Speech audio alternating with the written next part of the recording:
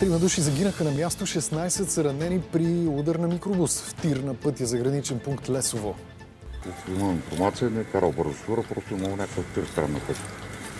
Без аварийни, без никакви осветителни знаци някакви. Две жени бяха транспортирани до София. Какво е състоянието им? Остава по-малко от година, когато първите жени, родени през 1960, ще получат правото на втора пенсия от частните фондове. Неизвестните обаче са много. Колкото случая ще имаме за пенсиониране следващата година, толкова различни случаи ще имаме. Ученици от немската гимназия спасиха от буклука изхвърлени от преподавателите им учебници. Ама гледчите са това ми са запазени. Просто защото ме заболях. Почувствах се засрамена, че не ги попитахме преди да изхвърлим учебниците. Когато видях реакцията им, казах, добре, беше грешка. Правим 10 минутна почивка. Слезте и спасете книгите, които искате.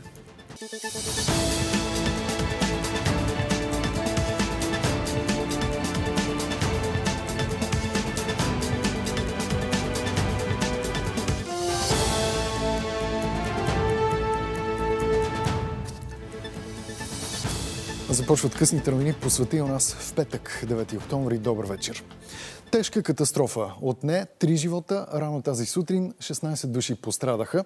Пътнически микробус се удари в спрял тир, близо до граничния пункт Лесово. Най-тежко пострадалите жени, които са сестри, бяха докарани в София с военен самолет Спартан и настанени в Пирогов. Още преди да бъдат транспортирани, лекарите са успели да ги стабилизират. Състоянието на едната обаче остава тежко. Всичко за катастрофата обобщава Десислава Петкова. Пътническият микробус тръгнал с 19 пътници в 4.30 часа тази сутрин от Сливен за еднодневна екскурзия до Одрин. Малко преди границата край Лесово, около 6 часа бусът се ударил в тир с украинска регистрация, който изчаквал на опашка, за да мине контролния пункт. Имам информация, не е карал бързо просто имал някакъв тир страна пътя. Без аварийни, без никакви осветителни знаци някакви. Сблъсъкът е станал на около 3 км от граничния пункт. Происшествието е станало на прав участък, добра видимост, но мокра настилка и се изясняват причините за пътно-транспортното происшествие. Наистина е много тежко. Информацията, която имам, тир е бил спрял на изчакване, като е бил последен в колона от няколко автомобила.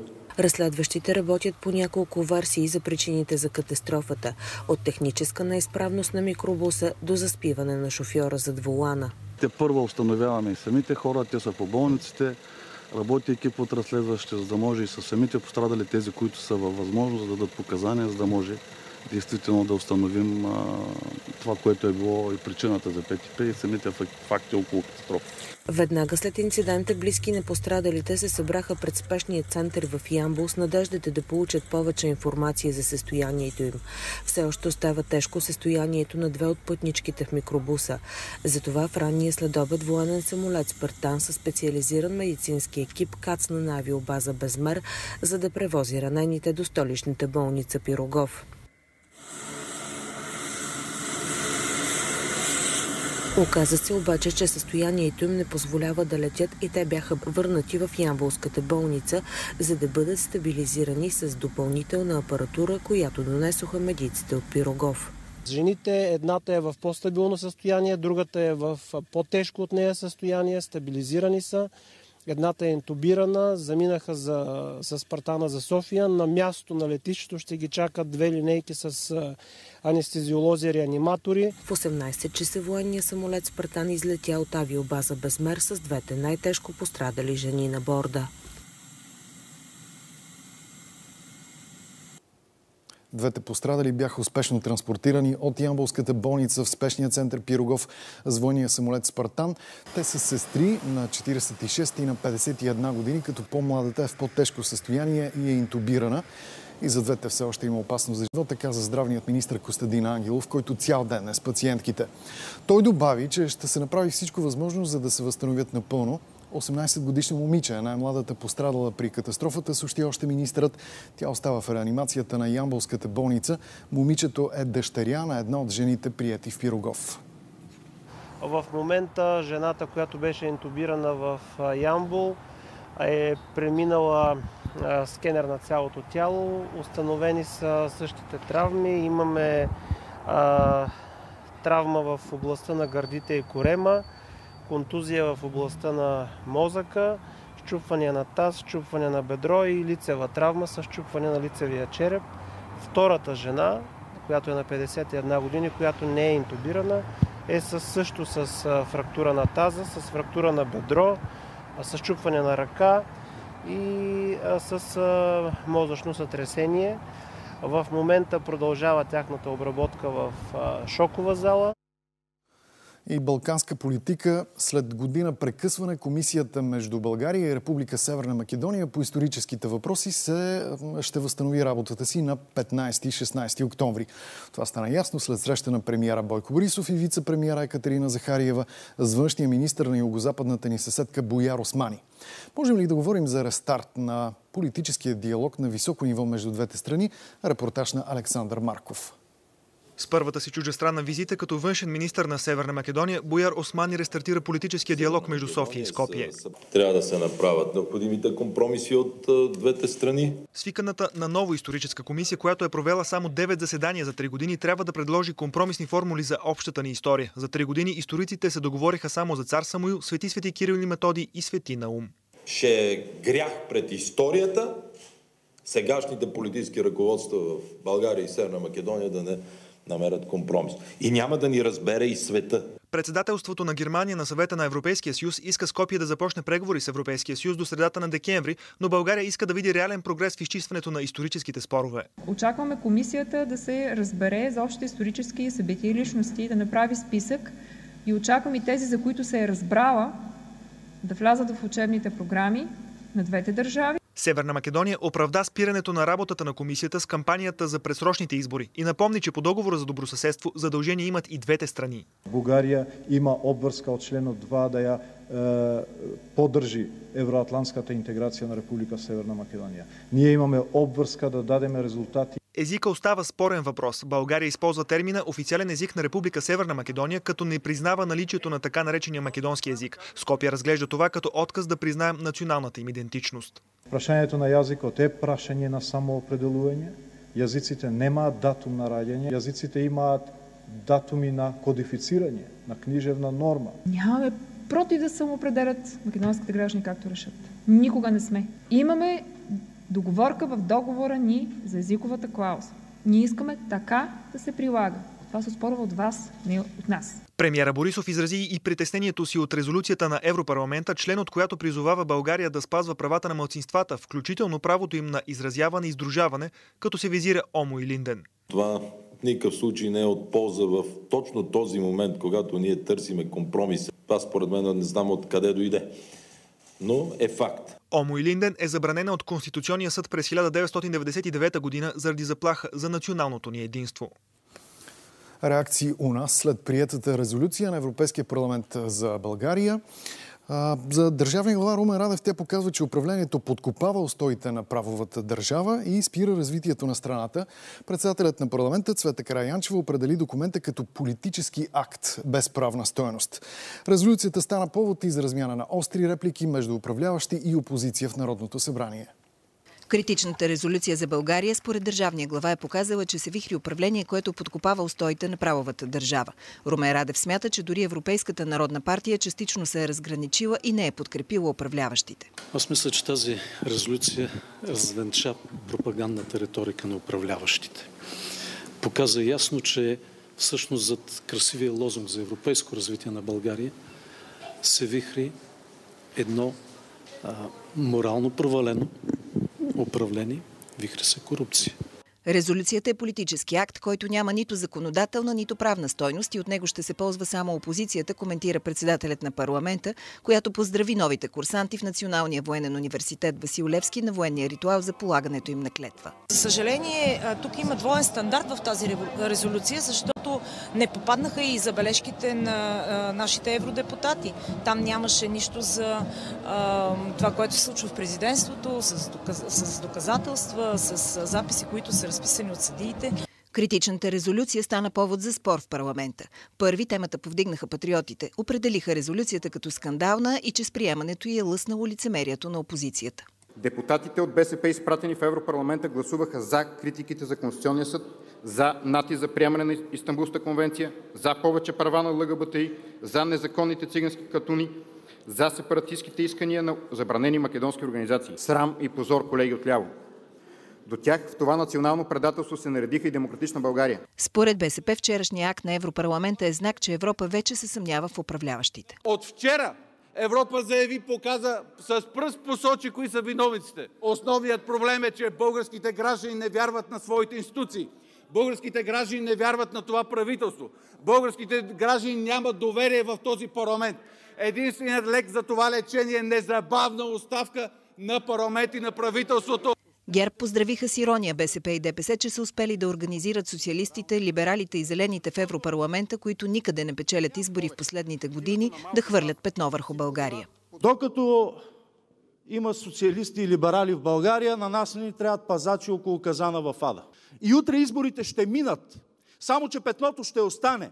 То ще остане и за други правителства, които ще трябва да ходят и да обясняват, че в България няма македонско мълцинство, че в България Конституционният съд е решил, че Истанбулската конвенция е противоконституционна и това е наше вътрешно право. ДПС, чието евродепутати гласуваха въздържал се, не взеха отношение по темата. Един от инициаторите на резолюцията Радан Кънев акцентира, че най-важните теми за правосъдието, корупцията и свободата на медиите са отразени в документа. От 2016 насам има един очевиден регрес и резолюцията отразява този факт, че има Добре. много ясно отстъпление от малкото, което през годините е постигнато. Според Кънев, въпросът с македонското мълцинство не е отразен в резолюцията. За 93-та вечер недоволни от управлението на страната протестират с искане на оставките на правителството и главния прокурор, блокада и пред БНТ след петъчната панорама. Събитията в центъра на София следи Николай Минков. Добро вечер, Ники. Добър вечер. Първо към хронологията. Няколко са акцентите от 93-я пореден протест. Първият акцент съобщи един от неформалните организатори от отровното трио Николай Хаджи Генов, а именно, че се готви поредно велико народно възстание. То ще се проведе на стотния ден от началото на протестите. Той изрази мнение, че най-вероятно това ще бъде последният протест, очаквайки до тогава правителството да подаде оставка, главният прокурор също да се оттегли от своя пост. След това последва призив традиционното шествие към Орлов мост да се отбие към Българската национална телевизия, за да може протестиращите да се срещнат с гостите на Бойко Василев и да му зададат актуални въпроси. За, за много бързо бяха блокирани всички изходи на БНТ, на Сан Стефано, на Тулово и на Евлоги Георгиев. Малко след 9 часа луксозен автомобил бе блокиран тук пред централния вход на БНТ с подозрение, че той е служебен автомобил на някой от политиците и вътре е някой от гостите на Бойко Василев. След като стана ясно, че това все пак е служебен автомобил на БНТ, който всяка вечер паркира в сграда, в подземния паркинг на сграда, намираща се непосредствено от БНТ, протестиращите отказаха да го пуснат с мотива, че БНБ е виновна за източването на КТБ. Малко след 22 часа Евродепутатът от ГЕРБ Андрей Новаков излезе през централния ход на Българската национална телевизия. Буквално за секунди беше блокиран от протестиращите. Повече от 10 минути в опит той да премине през тях и да стигне до Орлов мост. Бе засипан с купища въпроси за това кой ще подаде, кога ще подаде оставка, дали правителството ще подаде оставка. След като стана ясно, че той не може да продължи жандармерията, направи опит да го изведе по Сан Стефано. Последва преследване по малката уличка край БНТ, което продължи по Шейново. В крайна сметка жандармерията успя да го изведе безопасно през Евлоги Георгиев. А, след това заместник председателя на Народното събрание Кристиан Вигенин, който също беше гост на Бойко Василев излезе, но с него нямаше такъв проблем. А, предлагам да видим и чуем какво казаха двамата гости на Василев пред Българската национална телевизия, след като излязоха от сградата на БНТ. Разбирам, че сте гневен. Така няма да сте част. Аз разбирам, че вие сте гневен. Вие имате право на така. Аз искам да знам какво мислите, защото това е единствения начин да може да го преодолеем. И за това съм тук. Защото вие сега с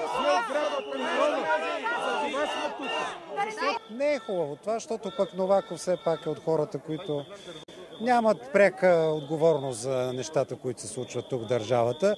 Но когато защитаваш това управление, нормално е хората да са сърдити и агресивни към всеки, който е с него по един или по друг начин.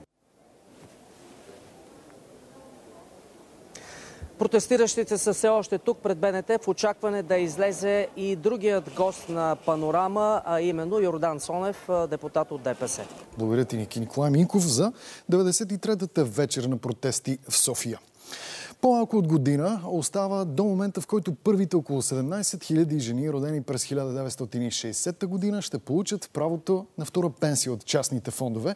Кое е по-изгодно? Само една пенсия от НОИ, като парите бъдат прехвърлени от частния фонд към държавата или две пенсии, това е трудно да се каже. Причината всеки е натрупал различна сума от, в частния си фонд. Кога е най-точният момент това да се реши? Отговорът потърси Милена Кирова. Колкото случая ще имаме за пенсиониране следващата година, толкова различни случаи ще имаме. Така очакванията са през 2021 да има около 17 000 случая. Толкова са жените, които ще могат да получават за първи път две пенсии от НОЙ и от частните фондове. Предварителните разчети показват. Половината от тези жени ще могат да получат пожизнена пенсия. Да кажем, при минимална пенсия 300 лева и по-високия прак 20%, това са 60 лева. Другата половина, които нямат достатъчно пари по партидата за пожизнена пенсия, ще получат натрупаните средства разсрочено за определен период. Но ако да кажем, че заявят, че искат да получават максималната възможност сума 300 лева, тя ще се изплаща, докато се свършат средствата в партидата им. Русица Дакова, родена през 1960 година, има 37 години стаж, ще има право на две пенсии. Не е изчислявала колко и се полага. Почти всички години съм осигурявана на минималната заплата. Не знам, ако бях го прехвърлила в НОИ, дали ще, ще получавам по-голяма пенсия. Тези, които получат минимална пенсия, на практика няма да загубят нищо, защото минималната пенсия не може да бъде редуцирана допълнително. Тоест, те ще получат минимална пенсия плюс средствата в партирата си. Габриела Стефанова вече е прехвърлила натрупаните пари от частния фонд в НОЙ. Очаквам някаква сигурност и, и това беше основният ми мотив да се е, прехвърля, защото, както се вижда, ето контролът върху частните финансови институции не е достатъчно силен. По примера на Габриела, от частните фондове към НОЙ са преведени 501 милиона лева от хора, които искат само една пенсия. След сривовете от март месец, частните фондове отчитат в момента всички минуси са компенсирани. От март месец до края на септември сме направили положителна доходност 7-10%. Хората трябва да бъдат спокойни за парите си. 100 лева инвестиране през 2002 година всъщност се равняват на 209 лева през 2020 година. Частните фондове предлагат прехвърлянето на парите към НОЙ да може да се прави не 5 години преди пенсионирането, както е сега, а непосредствено преди датата на пенсиониране.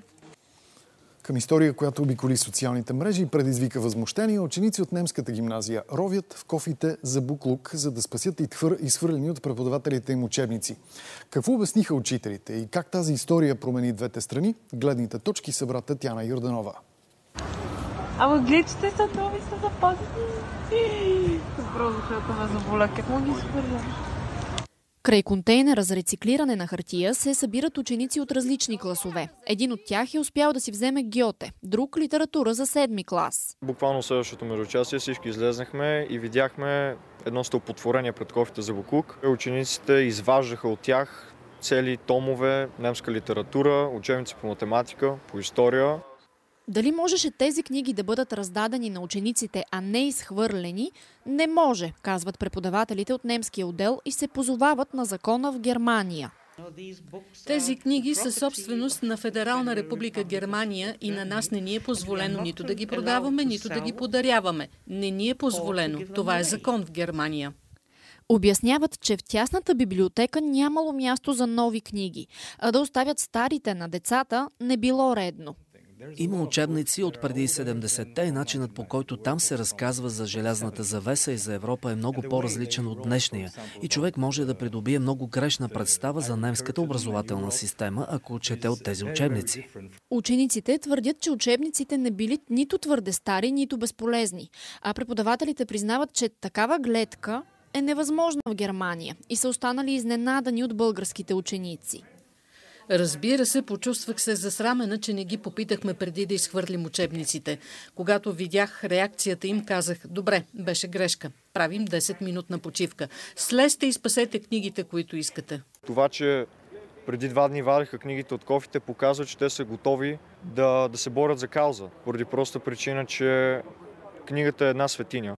Тук и двете страни са на едно мнение. Беше грешка. Може би щеше да е по-добре да оставим учебниците в коридора.